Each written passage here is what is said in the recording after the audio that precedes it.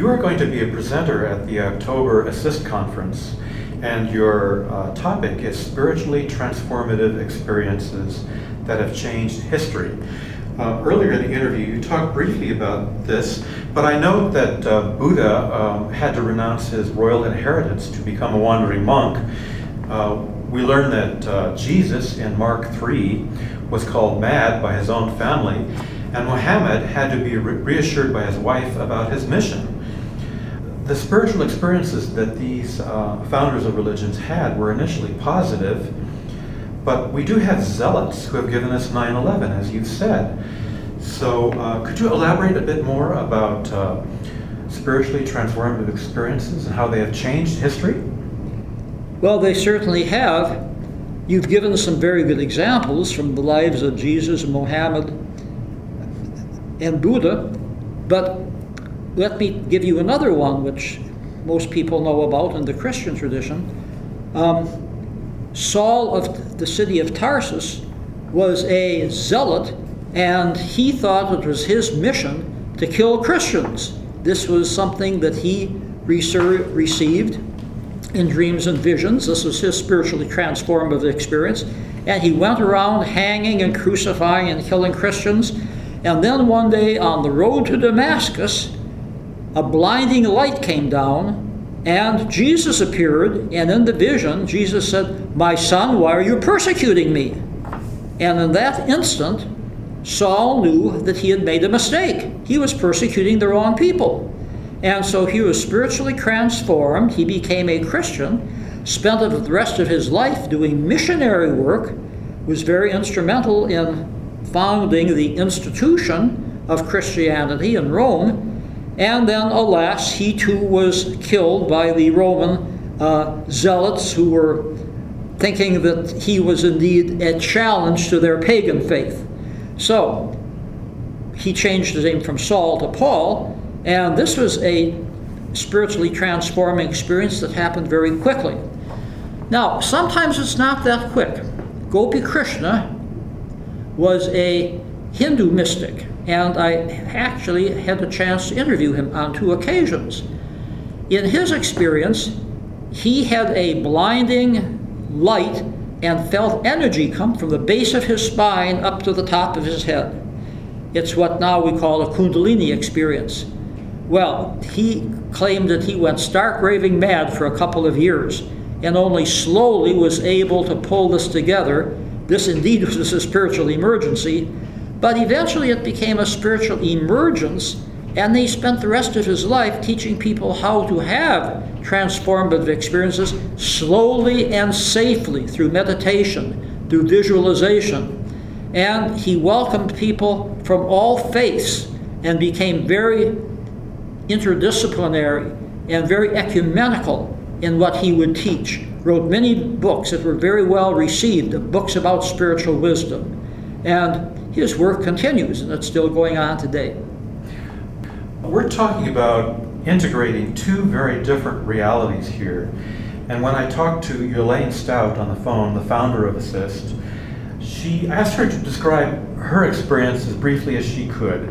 And she told me this in a near death experience, which she had, in a near death experience, you awaken from the dream of life and find that you are home again in a forgotten world of love.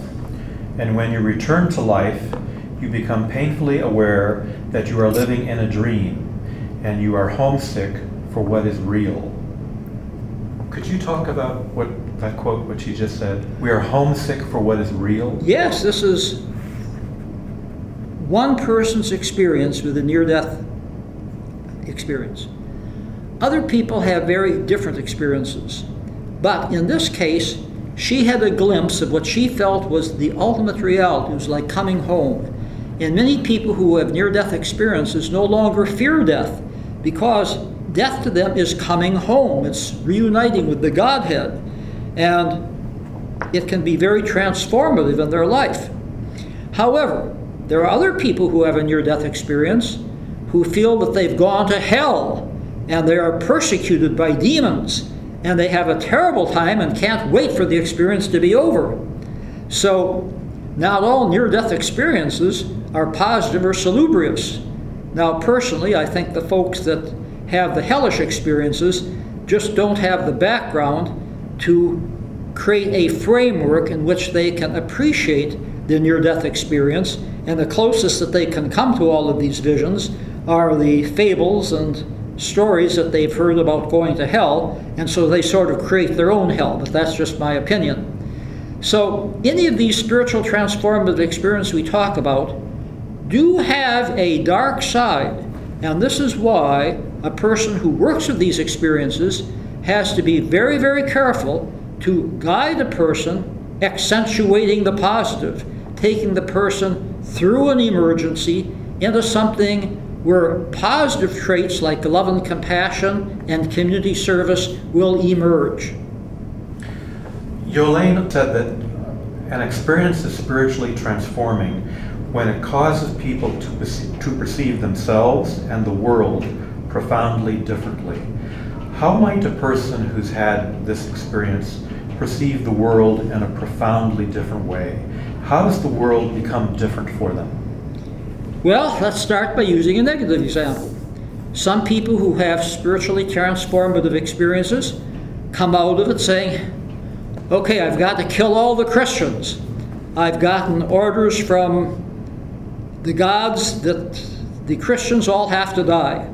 Or they might come out of it saying, I've got to kill all the Muslims, or I've got to kill all the Jews, or I've got to kill all the people who provide for abortion, or I've got to kill all of the gays and lesbians. And people believe this. This is part of their transformation. They've been transformed into zealots who have murder on their mind. Well, this is a spiritually transforming experience. In terms of my values, I would see this as an alienating experience. It separates people. For me, a positive spiritually transforming experience is one that brings people together, one that is unitive, one that unites, one that shows love and compassion. And there's a biblical verse by their fruits you will know them. You take a look at people who claim to have had spiritual transforming experiences and see how they live their lives. Are they living their lives in a spirit of acceptance, compassion, love, neighborliness, helpfulness, or are they doing just the opposite? So these are the criteria that I would use if I were asked to make an evaluation. Some people who've had these experiences actually reject the values of their culture. And they find that uh, adjusting to a society he sees as, as profoundly sick doesn't make sense. How might they view society as being profoundly sick after having um, experienced a reality that is so different? Yes, some people come out of their spiritually transforming experience with the conviction that their society is not healthy. There's too much emphasis on making money. There's too much of a caste system with the 1% of rich people owning 40% of all of the money. Or that there's a lot of divisiveness. Political parties can't work together to create a better society.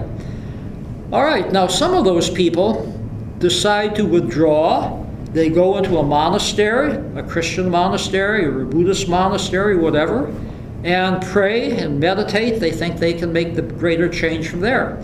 Other people jump right into the fray and become political activists and use their experience to take active steps that they never would have done before the experience.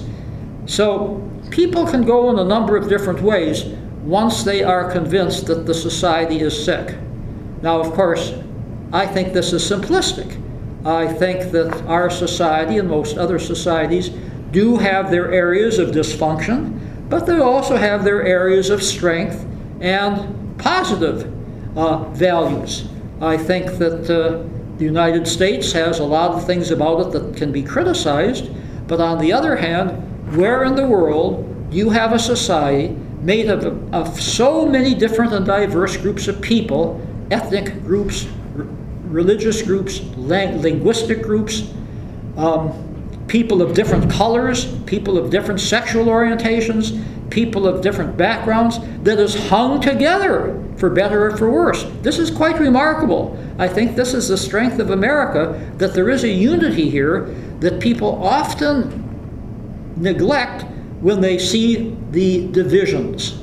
And I don't think that you can find any other country in the world that has this much diversity in such a large population where people more or less still get along. Yes, it can be better, but it's made quite a remarkable uh, statement to the world since the republic or the democracy, as you want, whatever you want to call it, was founded. The scientific community often views these experiences as hallucinations. What matters at ACISTE is not the content of the spiritually transformative experience, but the effect it has on your life. The impact of the spiritually transformative experience brings validity. It is self validating in a way that a hallucination cannot be. Would you want to comment on that? Yes, indeed. I followed the scientific literature and the neurological literature, and I think that uh, it's taken us a long distance in terms of understanding the changes going on in the brain while somebody is having a out of body experience, a near death experience, uh, other types of spiritually transformative experiences. Of course, there are going to be changes and I think that this is good news. It means the experience is real. The person is not making it up. The person is not impressing other people by telling a story. The person is not having a crazy hallucination. No, these are real changes in the brain while the person is talking with the spirits, incorporating the spirits, going out of the body, having a spontaneous healing, whatever. So the neurological changes that go on, I think attest to the reality of the experience. And you know, mind and body are together. Of course, what happens in the mind is going to be reflected in what happens to the body. What happens in the body is going to be reflected in what happens in the mind. So I think that this is very good news for people interested in this topic. And then, above all else, what is the change in the person's behavior and attitude? You can get as much data as you want from an electroencephalograph or magnetic resonance imaging or some of these other sophisticated neurological devices. Say, yes, these are changes in the person's brain. Fine. What changes are there in a person's life? Is the person more compassionate, more helpful, more loving? Or is the person still abusing her husband, whipping her children, or gouging his financial associates or stealing money from the bank? If so, this experience has not been transformative at all. What separates us from the world of spirit? Where is it? And why isn't this reality available to us always? You know, there are some societies where this reality is more readily available than in so called civilized Western societies.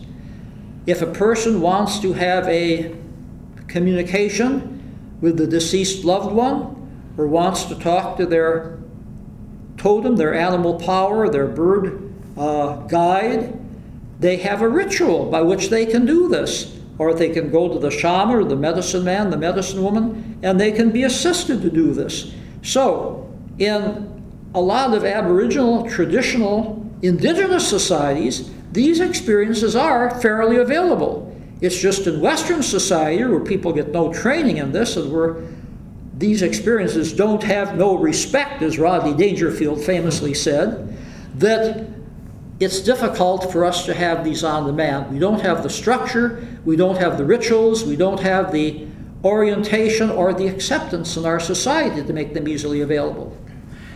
Aldous Huxley once said that the brain is a reducing valve. It is like a reducing valve, and that the brain limits our awareness so that we can function in a three dimensional world.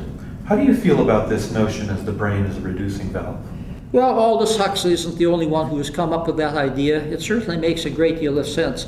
There are so many stimuli coming in upon us that one uses one's personal mythology, as we discuss in our book by the same name, one uses one's personal mythology to decide what should come in and what should be screened out.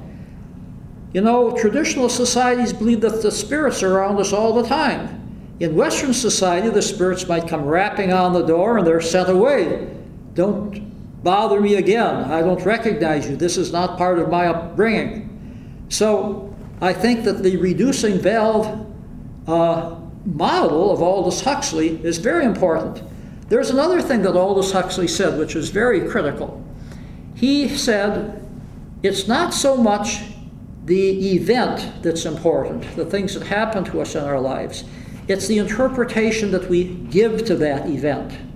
So, a person is in an automobile accident and they wake up and they're out of the body. Okay, they have an out of body experience. What do they do with this? Many people are told by their doctor, just forget about it, this is a common symptom. While other people will think, okay, what did you learn? Who did you talk to? What did you uh, have as an insight that can help you from this experience? So, the experience that we have or the result of an event is what can really propel us forward. Aldous Huxley was a very, very wise man, and we can read his books again. And his wife, Laura Huxley, is a very, very wise woman. I knew her very well. I never met Aldous, but she carried on his work after he passed on. Dr. Krippner, I have, have a question about consciousness. Consciousness is a question that uh, atheists uh, can't understand. That they can understand uh, human life uh, coming as a result of uh, biology, as a result of evolution, but they're puzzled about the nature of consciousness. I mean, where does it come from? And this brings me to ask you a question about the hard problem in physics, which is how can something as immaterial as consciousness arise from something as unconscious as matter? How do you feel about this? Well, I think that this is a very important research topic.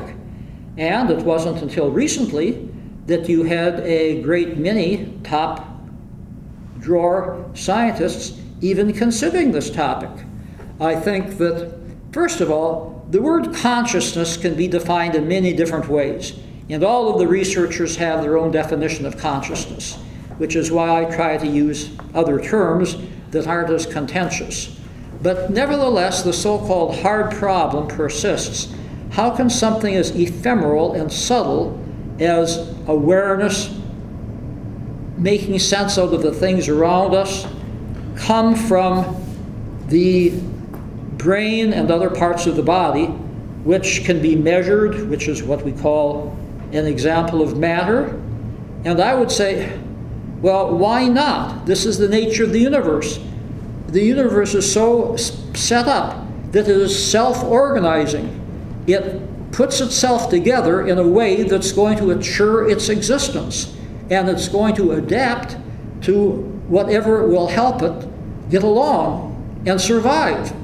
So here we have small animals, large animals like human beings, other species, and to some extent or another, they're aware.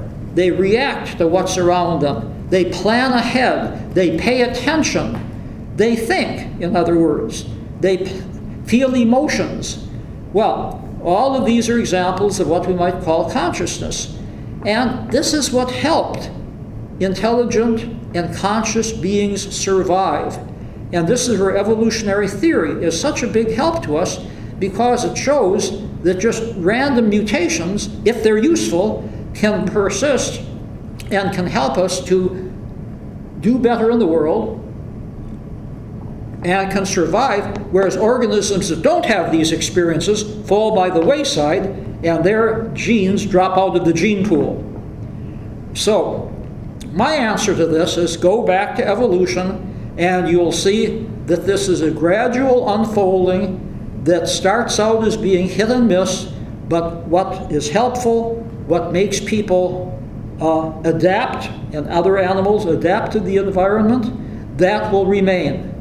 Okay, now, what's the connecting link between mind and matter? I think they're already connected. I think that mind is subtle matter. I think that matter is dense mind. I have never been able to see the difference here. There are people far smarter than I am who believe that there are quantum mechanical activities in the brain, in the very, very small fibers in the brain, and this is what makes consciousness possible. So, quantum physics might be a lead here. Now we have the announcement of the boson particle, this subatomic particle, which is so elementary, some people are calling it the God particle. Well, there's much that we don't know about the universe. Dark matter, the universe is composed of some 97% dark matter. Nobody has any idea what it is. So, how can we come to a rational conclusion of what the universe is all about and what consciousness is all about when we're studying only 3% of what's actually out there? We have to take a little bit of modesty and be a little bit more patient before we can make final judgments on such important topics. Uh, near death experiencers are convinced that death is not the end, that, are, that there is a consciousness after death. So, my question is if consciousness is a product of evolution, and if consciousness is brain based, how can it continue after physical death? Well, why not? We don't know the limits of the brain, we don't know the limits of the body. Keep in mind that atheism and theism really don't have much to do with it. I have known some atheists who think that survival of bodily death is completely possible. It doesn't have anything to do with God at all. It's just the way that the brain and body are constructed. And that this subtle element of the brain body connection has a survival value that not only helps while a person is alive, but goes on after death. And then, of course, there are some people who flip things on their head and say, well, consciousness came first. Consciousness is something from which matter evolved. You're talking about downward causation. Yes, this is downward causation. These people often make a very strong case for it. Now, people that believe in downward causation, of course, there's no problem there in terms of their survival of part of the personality after death. So, these are intriguing questions. I think they're well worthy of our study. Far be it from me to uh, come up with an answer at this time. I follow the arguments, I read the literature, and it's an unending source of delight and amazement. If ego identity is a fiction, as the Buddhists contend, then what kind of identity continues after death, and what does a medium communicate with if there is, quote, no person to communicate with? if ego is a fiction? First of all, you're using some loaded terms. The type of ego that the Buddhists claim is a fiction is the socially constructed ego, is the identity that we have as a result of the society in which we live. Go back to Carl Jung, he talks about the self with a capital S. This is something that is more basic than ego with a small e and itself with a capital S that has the survival and that represents the core essence of a human being. And after the body dies, no, this might not have a lot of specific memories, but it might have the feelings of compassion and love and beauty and joy that have been built up over a lifetime that were not socially conditioned, were not constructed the way the ego was. Okay, Dr. Krippner, last question. Uh, some atheists, as, as I've, that I've known, are shocked to see and communicate with an entity they call Jesus during a near death experience. Yet, people in remote tribes in, say, New Guinea do not report seeing Jesus. What does this tell us? Is the archetypal world a mental construct existing independent somewhere. Can you talk to us about an, an archetypal world that is dependent on what culture a person comes from? That's my last question. Sure, that's a fine question. According to Carl Jung, the collective unconscious contains a number of archetypes, a number of images that actually have a physical as well as a mental basis. The great parent archetype, because everybody has had parents. The wise childlike archetype, because children are all around us. And the talking animal archetype, because we see animals all around us. So, the way that these archetypes are expressed depends upon cultural tradition and cultural conditioning. And Jung pointed this out.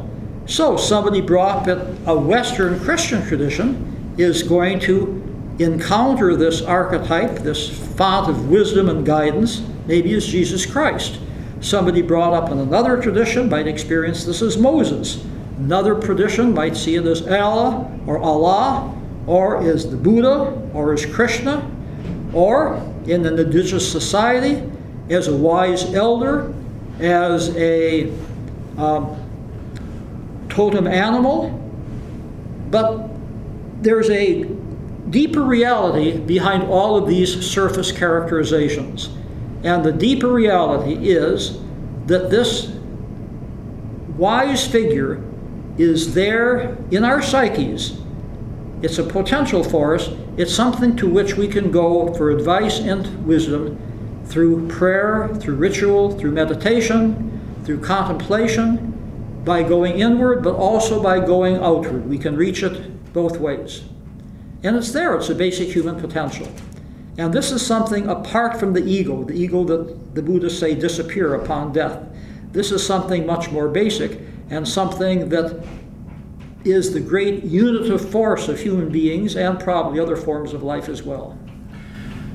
Dr. Krippner, I'd like to thank you so much for this interview, and I very much look forward to hearing your talk and the talks of the other presenters at the ACISTE Conference from October 18 to October 20th in San Mateo. Thank you. Thank you.